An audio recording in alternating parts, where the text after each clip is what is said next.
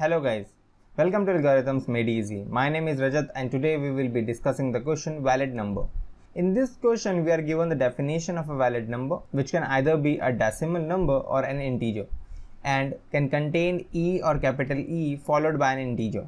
There are certain rules given to us as to what is a decimal number and what is an integer and we are given certain examples which are valid numbers while certain examples which are not valid number. The problem asks us that if given a string we need to return true if the string is a valid number or not.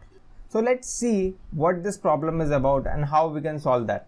So these are the numbers which are valid numbers and by seeing all these numbers we can make out that a valid number can contain digits, minus and plus sign, a dot and e or small e. Now we'll discuss on each of these parts as to on what scenarios we can reject a number and be sure that it is not a valid number. So now let's first start with digits. If the number contains digits, there are no scenarios where we can find out if it is a valid number or not a valid number.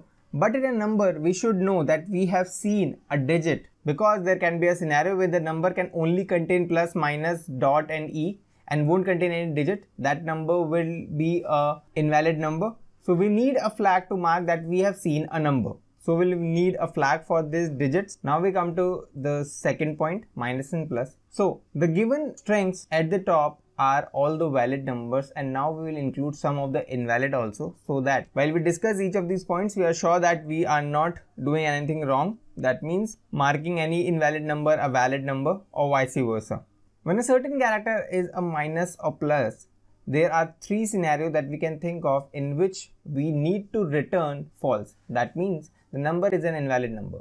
Now, if the minus or plus symbol is coming at the end of a string, that means it is invalid. If it is coming in between, but the character before that is not E or capital E, then also we need to return false and if there are more than two minus and plus in a string, then we are sure that it is not a valid number and we return false. So these are the three conditions that we need to take care of. Now, as the number of minus and plus can go up to 2, we cannot work out with a flag for minus and plus. We need a count. So, we will have a variable which is a count variable for that. Now we move to the third point that is the dot operator. Now in the dot we see that if it comes at the end of the string then we cannot have a valid number. If there are two dots present in a string then it also it is not a valid number and if there is only a dot present in the string then also it is not a valid number. So these become the three conditions wherein we cannot have a valid number. Moving to the E part capital E and the small e if present more than once in a string won't make a valid number. If the string starts with a E or capital E then also it is not a valid string and if the string ends with an E or capital E then also it is not a valid number. So we use flag for that as well. Here we can see that we need to use three flag variables and one count variable. Now we'll jump to the coding part. So as discussed, we need three flag variables. So we will first define those variables and now we need one count variable. Now we need to iterate over this string and for each of the character we need to apply the condition that we discussed. So now we discussed that this character can be either a digit, can be a minus or plus sign, can be a dot and lastly can be E or capital E. In the else part we need to directly return false because anything other than these will not be in a valid number. So we'll return false in that case. So if a number is a digit, we need to update this digit flag to true. Now, if the character is a plus or it is a minus, then we saw that it cannot be greater than 2. The count cannot be greater than 2. So if the count of plus minus is already 2 and this is the third time that we are encountering it that means we can directly return false. It cannot be a valid string. Now we know that if this plus and minus is in the middle of the string then it should have capital E or small e before it. So the character at i minus 1 if it is not equals to e or capital E then we are sure that it is not a valid string and we can directly return false. And lastly we see that if this i is the last index so that cannot be the case we also return false in that case as well. If all is done then we increment this counter of plus and minus. So now there comes a condition wherein the character is a dot. So if the character is a dot, we saw that it cannot be present after we have encountered E. So if we have seen E already or we have already seen a dot, in both these cases we cannot have a valid number so we'll return false.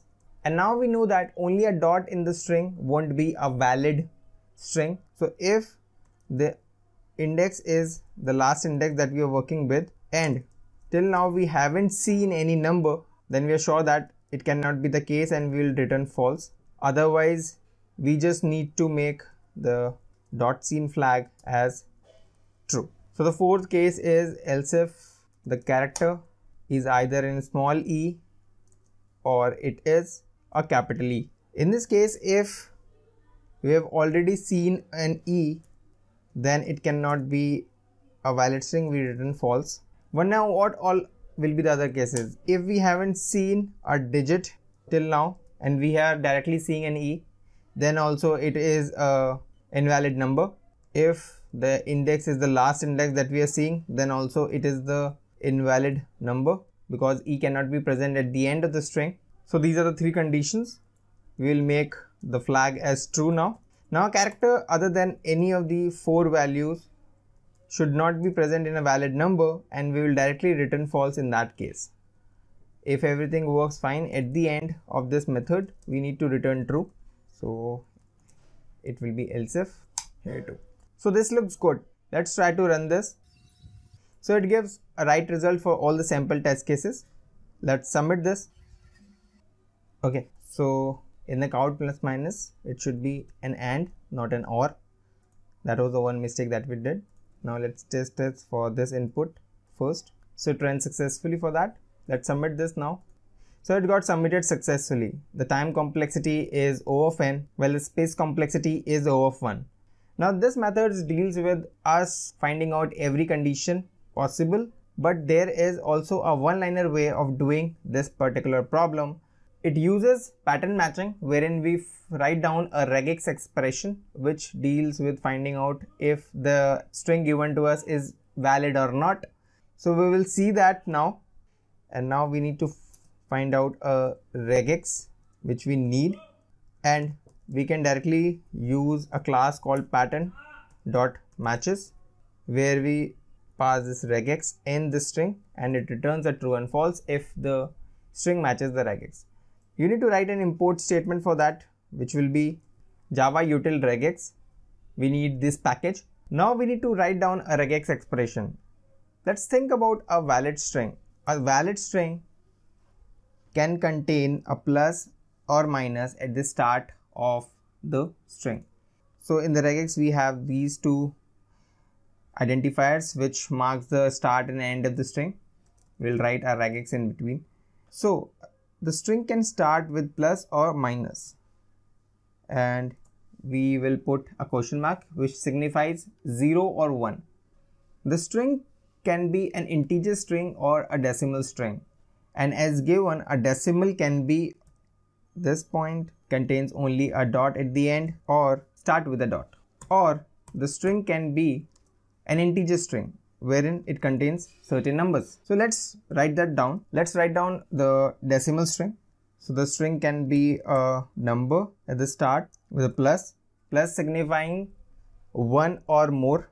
Then there will be a dot and lastly another digit and we will put that star over here because it can either be 8.9 or 9 dot or condition wherein it start with a dot n will contain one or more numbers. A slash d is the token for all the values from 0 to 9. Now, this whole is a part for the decimal operations. Now we need the operation for the integer.